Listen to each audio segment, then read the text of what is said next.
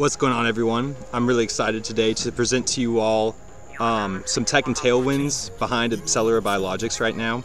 Um, this is going to be more a presentation about the industry and the outlook, not so much about the business itself. Um, you can check a video on my channel about the business itself if you'd like. Uh, so I want to talk about big data. Big data has been a huge thing, growing exponentially ever since 2009.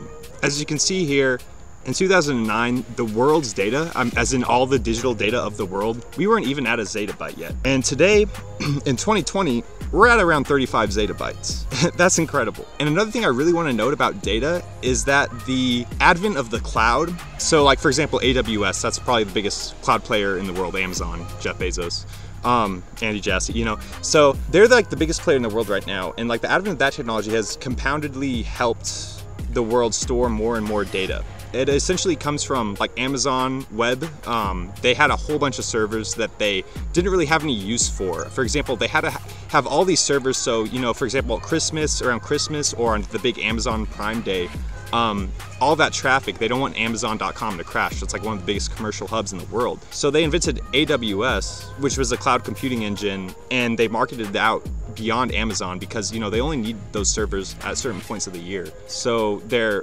outsourcing all the servers they don't need and all these other like Google, um, Microsoft, as well as in China, you see like Alibaba, Tencent, um, all these big tech companies are really just pouring, pouring resources into the cloud. So big data is something I'm really excited about. It's something that I really think is gonna compoundedly grow more and more. And it's quite shocking. Like I'll even show you at the end of this presentation, like the revenue numbers on the cloud. But big data, it is an exponential grower. Just think about that. From 2009 to now, from less than one zettabyte to 35 zettabytes. So big data seems to have a really healthy um, tech and industry outlook. Um, as you can see, these compounded annual growth estimates from all these research firms um, seem quite phenomenal. Um, anything above 8% I'm very interested in because like 8%, that's roughly normally around where an index fund will return for you. You see here, according to Market Research Future, they estimate about a 14.52% compounded annual growth rate until 2030 for then you can see below that you got a 19% estimate that's from Straits Research. And below that one you got another one of 17.5% uh, so what synergizes really well with big data I would say AI and analytics. And the reason why is AI and analytics really helps expedite the kind of like searching, gathering through of big data that you need to do to make big data useful. So according to Vantage Market Research, they estimate about a compounded annual growth rate until 2028 of 44.1% with AI analytics. Grandview Research they're estimating a compounded annual growth rate of 38.1%. In Zion Market Research, they're estimating about a 41.5. So as you can see, compared to like an 8% growth rate, this is huge. But you must keep in mind that things like valuation and growth need to be considered when you're trying to analyze. But honestly, I really like the valuation of AbCellera today. It's below like a PE of 15, very healthy company, almost a billion in cash, like a 2 billion market cap. The fact that it seems to be in a high growth area is really interesting to me because the valuation is really starting to check out and the growth that what could happen as well as the industry that they're in, the growing industry, it looks phenomenal. It's just checking all the boxes.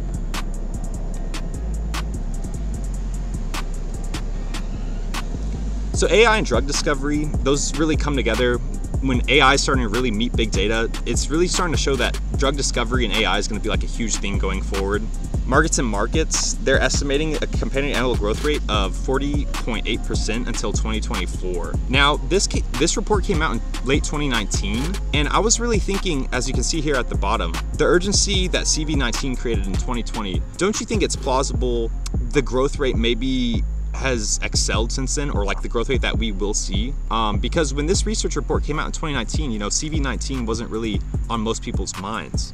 Like barely anyone even knew about CV19 until November of 2019 I'm just wondering if this research report is maybe dated and if they recast this estimate if it would go higher because of all the funding that got poured into the med tech type of industry with advent of CV19. This is a really great video. I recommend you, recommend you all check it out. Um, this is Carl Hansen, the AbCellera CEO. It's about a 12 minute video. Uh, he breaks down how he uh, and the company leveraged AWS for the discovery of bamlanivimab, their antibody uh, of CV19 that got out into the market with the help of their partner, Eli Lilly. So as you can see here, they used, you know, their AI platform and they screened five that 5,800,000 cells in three days. Now that's incredible, especially when you think about how Carl Hansen mentioned the human, there's around 100 billion antibodies. At any given moment, they're producing about a billion. I mean, these are huge numbers. And they took an individual who recovered from CV19 and they started screening their antibodies. So AbCellera screened it to the point where they came up with 5.8 million in three days. But as you can see, their process, you know, they're gonna continually narrow down this number. So from there, you know, by day six, they narrowed that number from 5.8 million in day three to day six, 2.2K. And by day nine, they're narrowing this down to 500. So they're gradually taking their their big data infrastructure and they're just solving problems for what antibodies you think will be most useful for the CV19 situation. So out of those 5.8 million, not all of them are gonna work equally as well. And they're just sorting out and narrowing it down to like which ones we think will work best, which ones we think will work best. So by day nine, we're at 500. And from 500, down here you can see they actually brought it down to 24 lead antibodies. That was the next step. Now, how were they able to do this? AbCellera is advanced AI and analytics. Um, it's their bread and butter. I mean, it's really what they do. They have a patent technology called Celium, and that really helped, especially with this like latter portion of, you know, getting the number narrowed down to like what antibody do we want to bring to market. You know, we have to end this thing with pretty much like one. So with the help of Celium, we're bringing this number now down to 24. And then now we finally got our one antibody select. After 5.8 million, then 2.2K, then 500, then 24, and now one. Now this one we're gonna send to Eli Lilly for testing, human testing, and we're not gonna worry about paying any of those costs. We as AbCellera, we only spend, you know, in the preclinical phase. We're not gonna do all those expensive human testing. Eli Lilly can go pay for all that. That's our partner, that's what they're there for. AbCellera discovered this antibody within six weeks, and then the first successful test came out with the help of Lilly after six more weeks. So in a three month period, effectively, AbCellera was able to bring to market the first monoclonal antibody for CV19.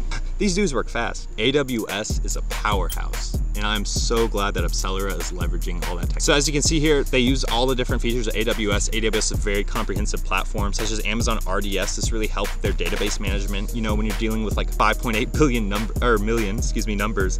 I mean, it's an immense amount of data points. So you definitely need a lot of the tech and software that's able to process all these things. You got things like Amazon Elastic that are just really useful for running multitudes of servers all at one time. So the fact that AbCellera is leveraging AWS is certainly something to keep an eye on. As you can see here, AWS has been a powerhouse, but not just AWS, which has dominated the cloud markets in the world. I mean, as you can clearly see here, even the other immense, huge American big techs like Microsoft and Google are blown out of the water as far as when it comes to market share in the cloud market right now. But just keep in mind like worldwide revenues of cloud have been exponentially increasing. I mean, this is incredible growth since 2018. The cloud market has effectively tripled since then. So yeah, I hope this video just gave you some insight on why AbCellera is uniquely positioned in a hyper growth industry.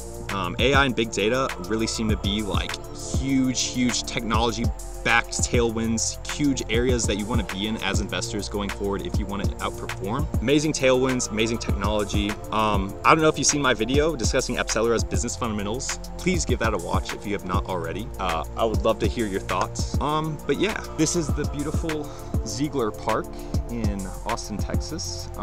This is actually becoming a medtech hub of the world right now and a tech hub of the world. And uh, probably gonna be where I'm living for the next bit, um, just working in medtech. And I'm really excited for this chapter of my life. And uh, so thank you guys so much for watching. Um, I'm the Zoomer Value Investor signing off. Peace.